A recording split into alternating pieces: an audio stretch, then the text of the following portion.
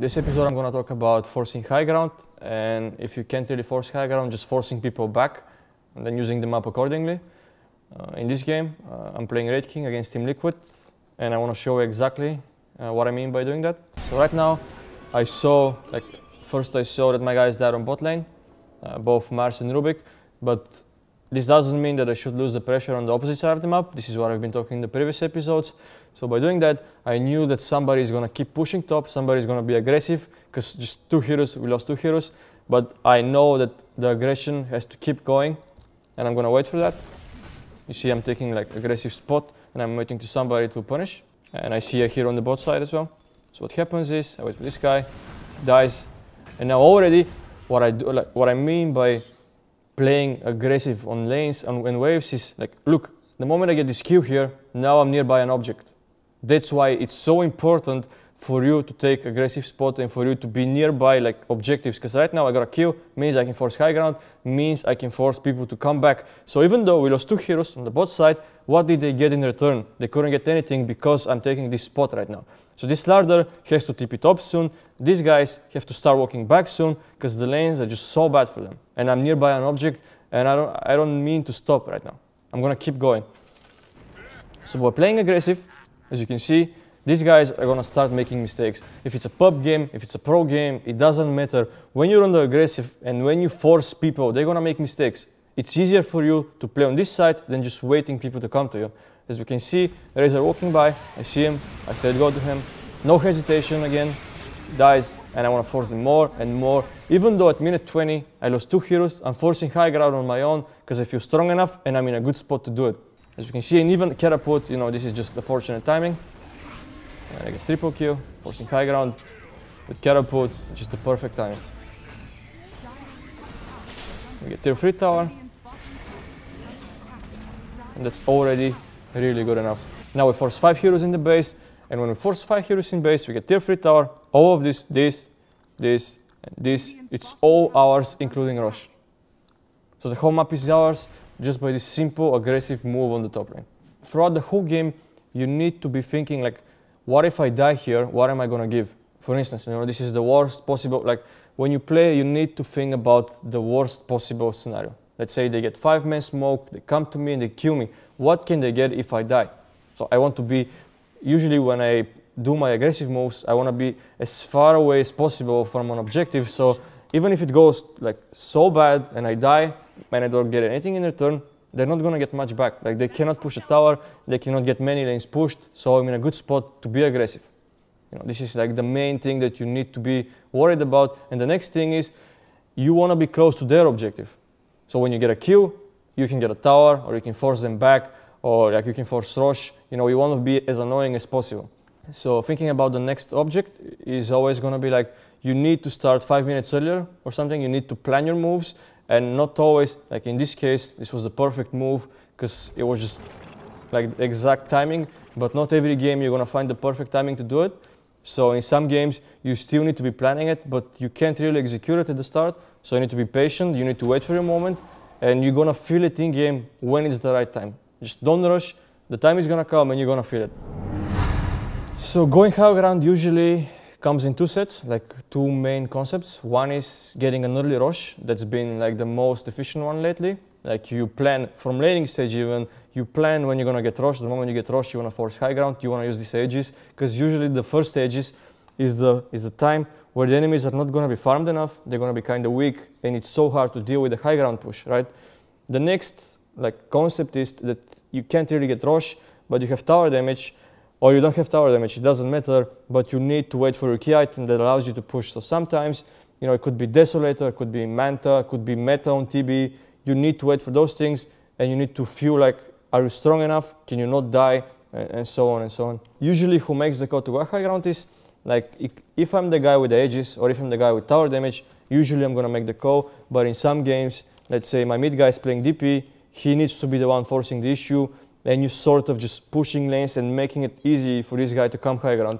Because like let's say you wanna wait the call from the mid guy to go and push high ground, right? But it's your job to set up the whole movement to the high ground because you don't want the lanes to be in a bad shape. So let's say like you have DP in your team and you know that you want to go high ground, but you need to make sure that the lanes are pushed correctly for her to go high ground. This is your job. So when you feel like you can't really stop like the enemy team from spreading them up and from them getting what they want, for example, they want to farm nations, they're pressuring you tier 2, and you're all 4 or 5 stuck on the top side, you want to force people back and you don't want them to keep farming and farming because you can't really catch them on so spread map. You know, the map is wild, the map is big. You can't really catch all these heroes. But what you can do is you force high ground, you force five people to TP, then all of a sudden the whole map is yours. So that's the only purpose why I want to do it. And in some rare games, you know, if you're playing against like a bit more like not coordinated team, they're gonna TP you one by one in the wrong spots and you can punish that even. Uh, when you're going high ground, you have to be really confident because usually if you start hesitating and you start asking questions and you start asking yourself, is this really a good idea? Then most of the times it's not a good idea. But what you can do is you just force them back and you go back and you don't need to commit to anything because by forcing one or two heroes back, you still did a good job and you don't need to go and suicide basically. And this thing is also relevant when it comes to pushing towers, when it comes to forcing uh, Rosh. It could even be like if you want to go to the enemy ancients, the same concept applies always. So in this game, I'm playing a Phantom Lancer against Flight to Moon again, and I'm gonna show you how, like with aggressive position, I'm gonna force people back and I'm gonna open plays for my teammates to come and finish the game. My Shaker is gonna get caught, he dies mid, but despite him dying, I'm still in aggressive position, I have Aegis again, and I wanna force them to come back because I feel like right now, they pushed mid wave and I see, I saw Templar pushing top, and I saw that she wants to buy rapier. So I don't want her to like completely free farm top, finish rapier and so on. So I want to force them back. And by forcing them back, this means that my guys gonna have more plays and we're gonna close them up and this is not gonna be theirs. This is the only reason why I want to force high ground right now, even though my shaker just died. And I'm alone. There is I don't even have backup. It's just I know that it's so important for me to force them back. And I have Aegis, so this makes it you know, easier to do. And again, again, I forgot to mention again, I know that the, like, the main catch they have for me is a lasso, uh, and they just use lasso mid, so I'm sort of immortal, almost. Now I force them back. I'm gonna force TA back soon, because we're not, I'm not showing anywhere. Again, this bait I was talking about, I force everyone back. Now I showed on the, on the opposite side of the map, and they feel like they're strong. They're gonna walk out, but that's not true because I'm just leaving Illus and I'm walking back straight to my team. This is like, often this bait is gonna work you know, unless your team dies too quickly, but you're gonna make sure this doesn't happen. I smoked back in even, uh, I forgot about it. But now you see, just because earlier I forced them away from top, there is no pressure on the map. You see, top lane, there is no pressure for me. Mid lane, no pressure. Bot lane, no pressure. So where can they be? They don't have anywhere to be. Like they have to be stuck in base. In this case, we even have an ops. But this is why you want to force them back. Because right now, if you haven't forced them back, this guy would still be pushing top. He would be hitting your tier 3 tower with a rapier. And it would be so much more annoying to go high ground. But when you force everybody in base, you know that there is no pressure. You can take your time, look for a fight, and it's so much more easier. What happens is, I found these two heroes, kill them, game over. They were in base waiting for us, not applying pressure, and that's so wrong, and game is over. So the most important thing about forcing high ground is that first you need to know your limits and second like it's good if you have Aegis but if you don't have Aegis this doesn't mean that you should be scared.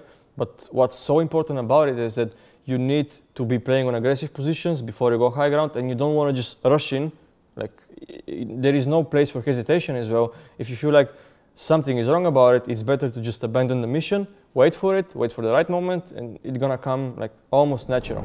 Yeah, most common mistakes that uh, people usually do is, like for example, they take Aegis and they don't use the Aegis to go high ground, but they just farm and farm and farm, and this is like you're wasting the whole potential of getting an axe to just get a few creeps. Uh, and another thing that people make mistakes often is that even though they get Aegis, the lanes are in a really bad spot, uh, and they just want to go high ground, and they end up dying, they end up even losing racks, and you don't want to rush too quickly. You know, you still, when you're pushing high ground, you want to take a look at the lanes. You know, if they're in a really bad shape, you have to go back, push them, and then go back again. If they're not in such a bad shape, then you can force them to go back, but you shouldn't rush to do it.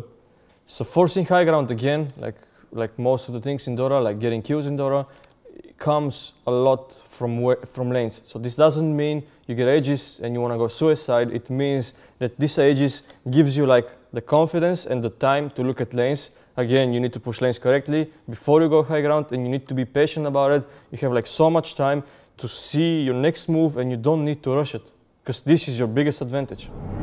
On the opposite side, how you want to defend high ground is like some, in some games, you're not going to be strong enough to defend high ground as a carry, or let's say you want to buy a Bisso, you want to buy a BKB, whatever item you're looking for, and you feel like when you get this item, the game is going to change, so you shouldn't rush into defending the rugs. In some games, it's good to leave the rugs, let it die, get your next item, then defend the second one, because if you go back and you die, the game is over. But if you get your next item, then defend the second rug, there is a good chance that you're going to make a comeback, and the game is going to be still fine, even with you losing one rug. Another way of viewing object could be item builds as well. So for example, for Morphling getting a Morbid Mask, it could mean automatically rush in the first, even in the first small kill that you get could result into getting a Rosh. And for, the, uh, for Lifestealer, or doesn't matter what hero, let's say it's a TA, could be Desolator, so Desolator is your object. It means you get Deso, that's a free Rosh, or at least it's gonna be like the pressure, you, you apply this pressure on the enemies by getting this item because they know you're going to be rush and they're going to be constantly thinking are they going rush or not and they're going to be playing automatically nearby Rosh and not playing efficient enough so you can view items as objects as well. So, so Dota is like a puzzle that you want to like win and every piece, you know, every object, every small object that you have is like the missing part in this puzzle and if you do everything correct, even though like it doesn't sound so simple, it's quite simple. You're gonna win every game.